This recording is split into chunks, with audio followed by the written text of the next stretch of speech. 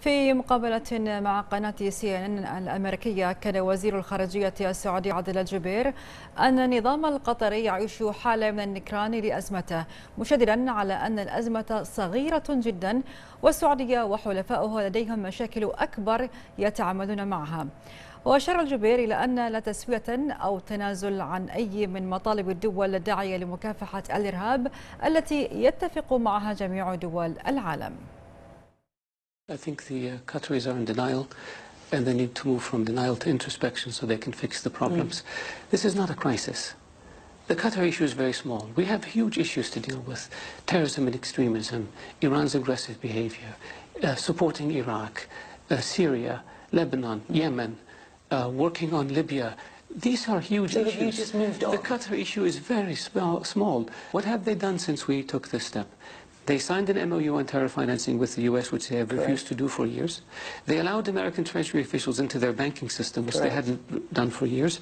They changed their laws to allow the introduction of evidence provided by foreign governments, which was not the case for many years. So why continue they support, isolate They supported, they reduced their funding for uh, radical groups in Syria and Libya, which mm. opened the door for political settlements there. And they, they reduced their support for Hamas, which allowed Hamas which forced Hamas to give up Gaza to the Palestinian Authority. Now we have to see. They have known terror financiers who are on lists, who are running around Doha freely raising money and sending it to terrorist groups. That has to stop. Mm. They cannot interfere in the affairs of other countries by funding opposition movements and trying to cause mischief. And so if the Qataris didn't have a problem, as they say with all due respect, why did they take all these steps that I just mentioned? They still have a way to go but they cannot fix their problem unless they acknowledge that they have it a problem. It's not about compromise. When it comes to terrorism and extremism and harboring fugitives, mm. there can be no compromise.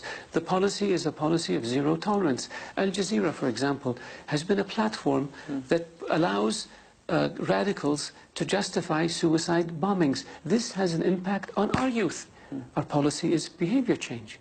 Our policy is stop supporting terrorism and extremism. Our policies don't harbor fugitives, don't interfere in the affairs of other countries, don't spread hate speech and incitement through your media platforms. That's our policy. And I think all countries in the world agree with, with that policy.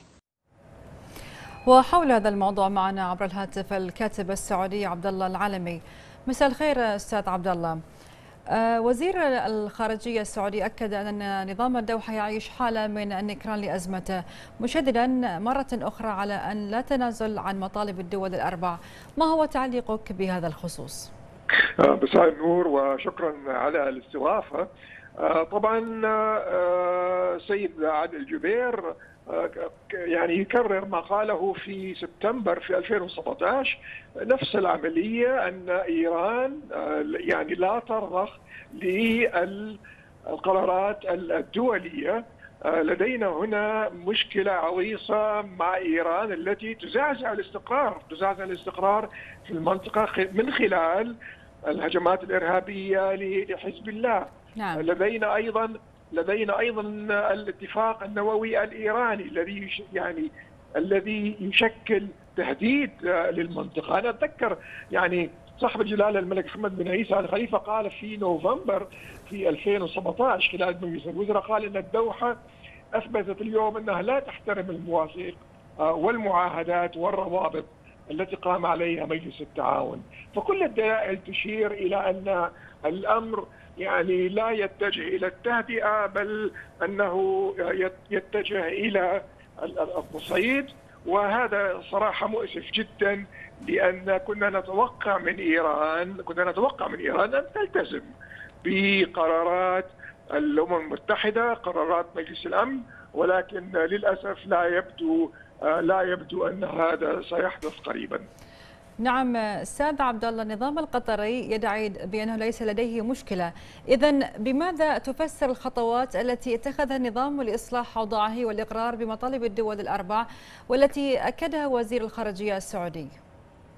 نعم إيران على فكرة في معضلة الآن اقتصادية يعني هي تحاول أن تغطي بهذه التصريحات تحاول أن تغطي على مشكلتها الاقتصادية. بكوني اقتصادي اتابع بورصة بورصة قطر آه، بورصة قطر إلى نهاية شهر أكتوبر الماضي 2017 قد تدهورت بحوالي 21 أستاذ عبد الله عفوا أنا أقصد أنا أقصد آه، حالة الإنكار الذي آه، تواجهه يواجهه النظام القطري.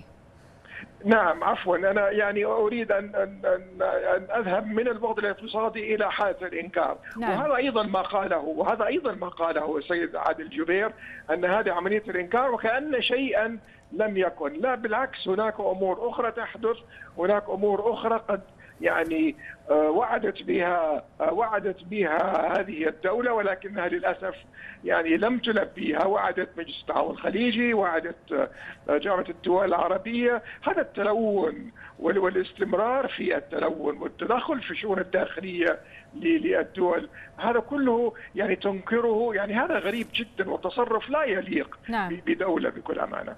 نعم الكاتب السعودي عبد الله العالمي شكرا جزيلا لك.